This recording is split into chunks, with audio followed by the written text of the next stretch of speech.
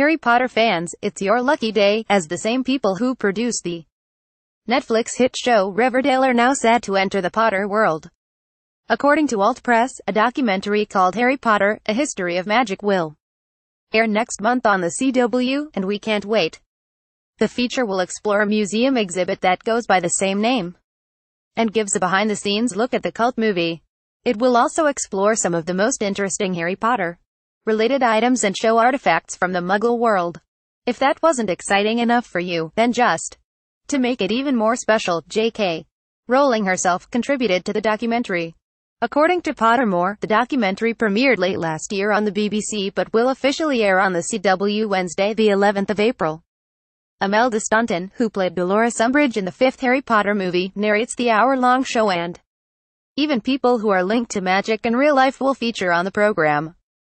Producer, director Jude Ho and assistant producer Alice Rhodes spoke to the fan website about their new venture.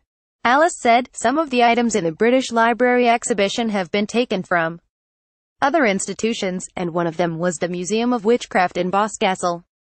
When we were doing the research for the film, we really liked the look of some of those objects, so I got in touch with Simon Costin, who is owner of the museum. I sat with him for an hour and was really drawn into him and his stories. She added, he was telling me about witchcraft and he really does believe in magic. Be sure to catch Harry Potter, A History of Magic when it airs on the CW Wednesday, April 11th at 8 7th. See if you've got a story, video or pictures. Get in touch with the metro.co.uk entertainment team by emailing us celebtips at metro.co.uk, calling 020-361-52145 or by visiting our submit stuff page. We'd love to hear from you. More, Harry Potter fans spot a clue that show Snape wasn't so bad after all more, Harry Potter. Fan set to make thousands as she finds rare first editions in charity shop for £3.